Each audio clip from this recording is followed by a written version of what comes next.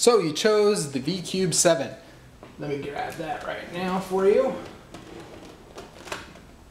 Here it is. The V-Cube 7 uh, is the, the largest uh, non-knockoff puzzle you can buy and it is really nice.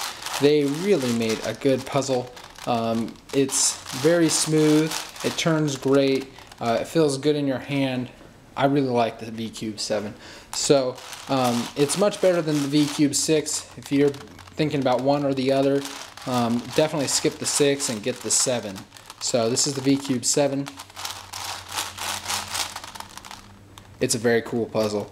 Moves well, um, and it it moves so well. I really think it's almost as easy as solving a Rubik's Cube 5 by 5 and even though it's a 7 by 7 this is easier because a 5 by 5 move, a Rubik's brand 5 by 5 is so hard to move that uh, this V-Cube 7 is almost just as easy as that one even though it's a higher order puzzle. So that's the V-Cube 7.